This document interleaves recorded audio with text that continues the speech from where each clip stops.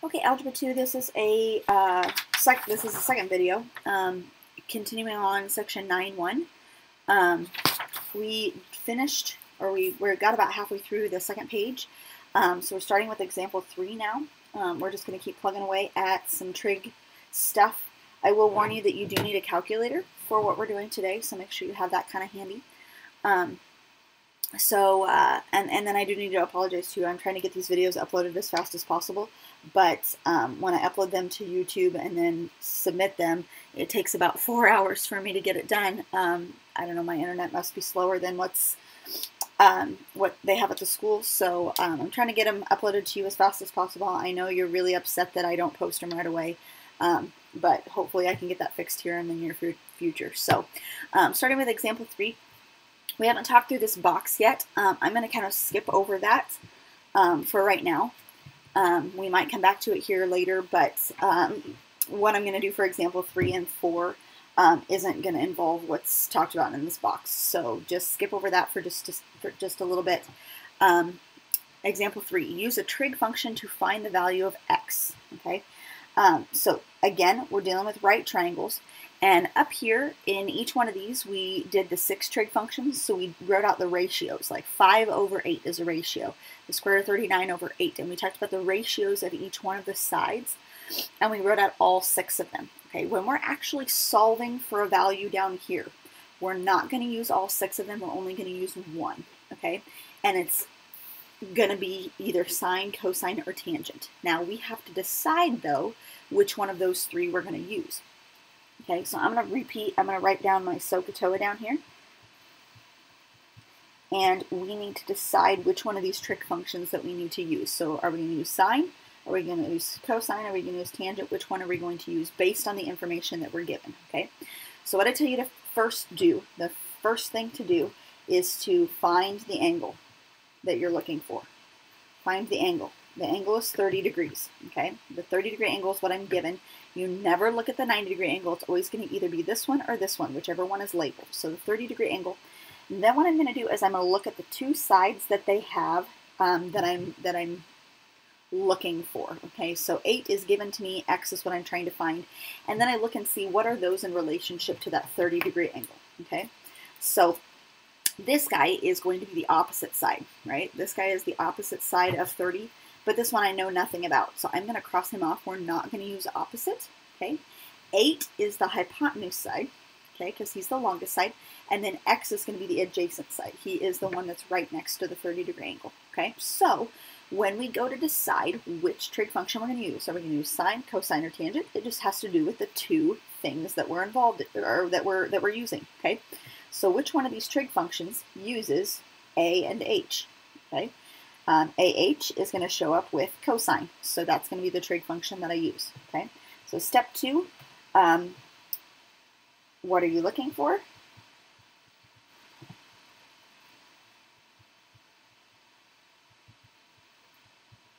Like label your sides, in other words.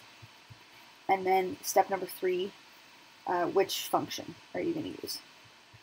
Are you going to use sine? Are you going to use so cosine? Are you going to use tangent? So we've decided that we're going to use cosine. Okay, so here's how you set this problem up. We're going to do cosine. And when you do cosine, you have to do cosine of some angle.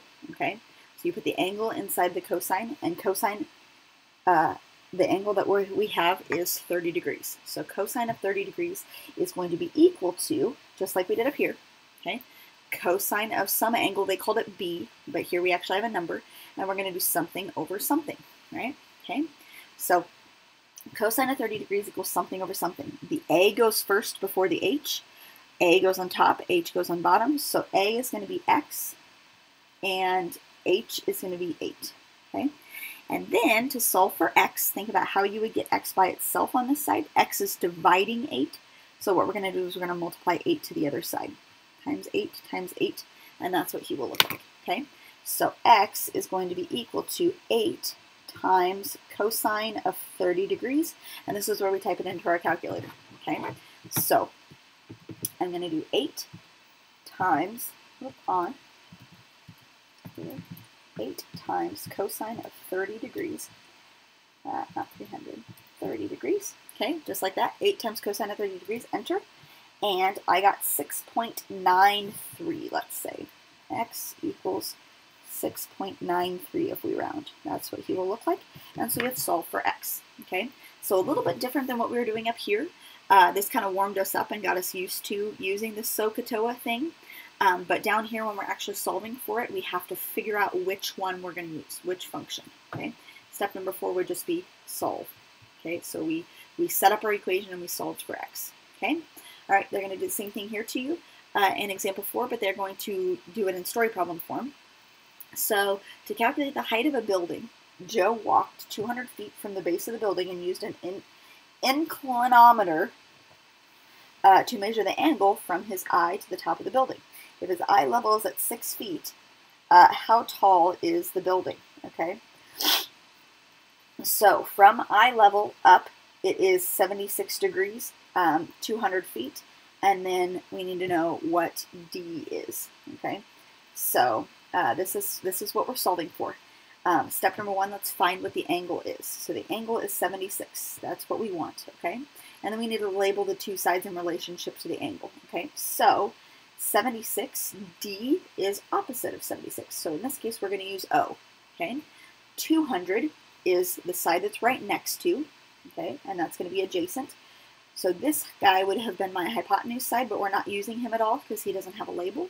So we're going to use the trig function that involves O and A. Okay. Now, which trig function involves O and A? That one's going to be tangent. Tangent O and A. All right. So we write out, we've picked our trig function, tangent. That's step number three. Which function? Tangent, and we need tangent of something. Okay. We always put our degree inside of here, so tangent of 76. And we're going to say is equal to tangent opposite comes first and then adjacent. Okay, so the opposite goes on the top, the adjacent goes on the bottom. Opposite is going to be D, adjacent is going to be 200. Okay, all right, and then to solve for D, we're going to multiply the 200 to the other side. Times 200 times 200. Okay, D is going to be 200 times tangent of 76. Okay, make sure you're doing this with me. 200 times tangent 76. And I got 802.16. 802.16 is what D is going to be, this, this height right here. Okay. Now they did do something tricky to us because they said um, his height or his eye level is at six feet. So they're saying here is six feet. Okay, and there's actually like ground below this. Well, they didn't they didn't really draw this very well, but there's an additional six feet below where his eye level is at. Okay, um, so if, if that's the case, then D is just from here to his eye level, and we need to figure out what the length of the entire building would be. So we would have to add six feet onto that, okay, to figure out the length of the entire building. So that is going to be 808.16 feet, and that's how tall the building will be, okay. So that was one kind of little tricky thing um, that uh, they had to do, okay. All right, um, let's go to the next one here, okay. Now, um, when you are finding missing angles, there's a little bit different uh, kind of setup going on here. Um, you're still gonna you're still gonna do things similar to what we were just doing, um, but there's one little trick at the end. So find the measure of each angle and round to the nearest tenth. Okay, tenth is one decimal place. Um, so one decimal. And the and the other two examples we were rounding to two decimals. That's fine, whatever. Um, this one run around to one decimal. So find the measure of each angle and round to the nearest tenth. Okay, so we're trying to find the measure of angle n. Okay, so in the past example, they would give us what uh, that degree was, and we were solving for either 6 or 10. Now we have 6 and 10, and we're trying to solve for that angle. So let's call him x right here. Okay, so still going to do the same setup. I'm going to write out my SOHCAHTOA, S-O-H-C-A-H-T-O-A. Okay, except we're solving for an angle now. So I have found my angle, and now I'm looking at 6 and 10 and what those are in relationship to x. Okay, so think about is 6 the, the hypotenuse side, the opposite side, the adjacent side? What, what two things we have going on here with 6 and 10? Okay, 6 is going to be opposite, 10 is the longest side, so it's the hypotenuse side. The one that we don't have is the adjacent side. So I'm going to cross him off. We don't use him. Okay. So now we need to decide which trig function we're going to use, sine, cosine, or tangent. O and H are the two things that I'm given, so we're going to use sine.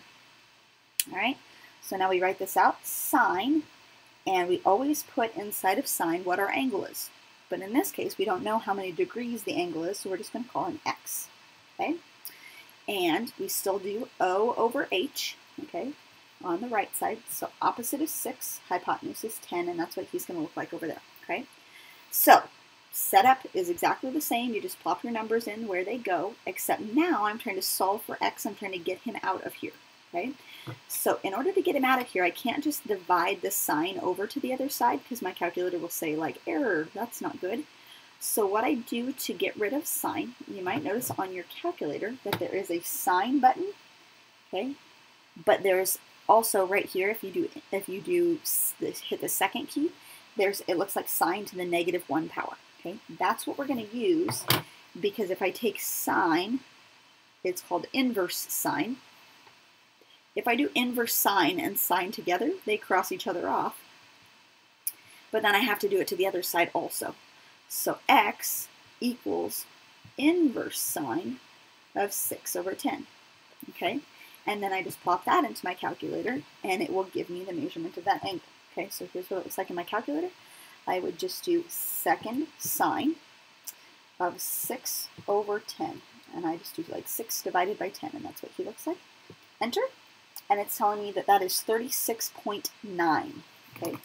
And since we're dealing with angles, 36.9 degrees is what he would be. Okay. That's how big that angle is. Okay. 36.9 degrees. So when you're solving for angles, you're going to have to use inverse whatever, inverse sine, inverse, inverse cosine, inverse tangent, whatever, whatever you need, okay? Um, when we're solving for this lengths on the other side, it was just using one of the trig functions and that was it, okay? All right, so let's go down here. Round to the nearest tenth. Uh, we did that for the 0.9, so that was good. Now in, in part B, we're solving for angle B. Okay, so I'm going to circle him. And he is not labeled, so we're going to call him X. Okay, this is the same type of problem again. Okay, um, so solving for x, we need to figure out which trig function we're using. So 8 and 16, let's label them. Are they opposite, hypotenuse, adjacent? Which ones are we using? Okay, I'm going to start by labeling this one. This one is the opposite, okay, which we're not going to use because we don't have anything labeled over there. The hypotenuse is 16. That means the adjacent side is 8. Adjacent means right next to, so the two that we're using are A and H, okay? Now, we need to decide which trig function uses a and h. Okay, so that one is going to be cosine. All right, cosine is a and h. All right, so I write out cosine, and we need to put our angle inside of there, but since we don't know our angle, we'll just call him x. Okay, equals the a goes first, the h goes, or the a goes on top, the h goes on the bottom. So adjacent is on top, 8, 16 goes on the bottom. Okay, now you might notice that 8 over 16 will reduce to 1 half, and you can do that if you want to rewrite it as, as 1 over 2. You sure can do that. It's not going to make a difference if we type it into our calculator after we um, take the inverse cosine, it's not going to matter. Um, but if you want to reduce it, that's fine. So now I want to get x solved for, so I have to get rid of the cosine, and the only thing that will get rid of the cosine is an inverse cosine, or that cosine to the negative 1. He will cross off here, but if I do that to that side, I have to also do inverse cosine of 8 over 16. So it will look like x equals inverse cosine of 8 over 16, and that's what he will look like. Okay, so just type it in. Okay. Second cosine of 8 over 16. Okay, just like that. Hit enter. And that is 60. That comes out really nice. x equals 60 degrees. Okay, that one I didn't even have to round because it, it came out really nicely to start with. Okay, so 60 degrees. All right. Um, we'll do one more. Uh, we'll do part A, of this story problem. Maybe we'll skip part B um, because we've already done quite a few examples to start with already. So angles of elevation and angles of depression. Okay. Um, so, and when you think of depression, um, like depression is a mental status, but it also means to like depress something down. Okay, so if you have a straight horizontal line here and you're depressing it, that means you're lowering it basically. So I'm taking this guy and I'm lowering it down. um, and that will make this angle right here. So this is considered an angle of depression, okay? Now, in addition to that, an angle of elevation would be like taking this horizontal line here and elevating it up, okay? Elevate means to raise, so that would be this angle right here. That's an angle of elevation, okay? So starting with this top angle, uh, moving it down, that's going to create an angle of depression. Starting with the bottom uh, horizontal line, raising it up, that's going to create an angle of elevation. So that's what he looks like. All right, so a golfer is standing at a tree, looking up uh, to the green on a hill. And uh, if the tee is 36 feet lower than the green, okay, so here's the, kind of the top of the hill, and this is like a 36 foot drop, okay, uh, vertically, a 36 vertical drop. Um, the angle of elevation from the tee to the hole is 12 degrees. So think of that as this horizontal line being raised up. That's going to be an angle of 12 degrees. Okay. They want to know to find the distance from the tee to the hole. Okay, so we don't know what we're necessarily solving for. But distance from tee to the hole, here's the tee, here's the hole. So I'm just finding that length there. So I'm finding this side right here. Okay, so think about what they're asking. I'm going to label that with an X. Okay, find distance from tee to the hole. Uh, that's going to be labeled as X. All right, so solving this exactly the way that we did up above, um, we are solving for a side and not an angle. Okay, so up here, solving for angles, we had to use an inverse trig function, like inverse sine, inverse cosine. This one we're solving for a side, so this is going to be similar to the to the front side page that we just did we're not going to be using a trig or not going to be using an inverse function. Okay, we can just do it straight in our calculator, sine, cosine, or tangent. Okay, so let's set up what this looks like. First step, find the angle. The angle is 12. 12 is this guy right here. Okay, so figure out what x and 36 are in relationship to 12. 36 is going to be opposite. x is going to be the hypotenuse. That means this guy is the adjacent side, which we're not going to use because he's not labeled. Right? So opposite hypotenuse, those are the two that we're using, okay? And then which trig function is that? Opposite hypotenuse is going to be sine. Okay, so sine, and then I need to take sine of the angle. Now in this case, we know what the angle is. The angle is 12. Opposite over hypotenuse, I would do 36 over x. Okay, now this one's a little bit tricky too because the x is in the bottom here now, right? x is in the bottom. So what I'm going to do is to get the x out of the bottom, I'm going to multiply by x, just like we would do before. Okay, so now I have that gone. And now I have x times the sine of 12 equals 36. But I want to get x by itself. So since x is being multiplied by sine of 12, I'm going to divide by sine 12. Okay, divide by sine 12. And then I have x is just equal to 36 divided by the sine of 12 and then I can solve for that. And I can just type that into my calculator. So here's what it looks like typed in. 36 divided by sine of 12. Close my parentheses. Okay, enter. X is going to be 173.2. We'll round to one decimal again. 173.2. Okay, I was solving for a side, and so let's think about what the units will be on uh, the end of this number. Okay, we were solving for this length right here and all my lengths are measured in feet. So 173.2 feet is what that will look like. Okay? All right, I'm going to skip the next example, and that is what I have for notes for 9-1. We're done with 9-1 now. Woo.